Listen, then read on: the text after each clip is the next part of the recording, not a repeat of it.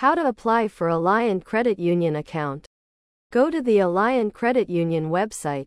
Choose the type of account you want to open. Example, checking, savings. This will direct you to the online application form. Enter your personal details, including your name, address, social security number, and employment information. You may need to provide identification documents. Deposit an initial amount if required. Check all the information you've entered and submit your application. You'll receive a confirmation once your application is processed.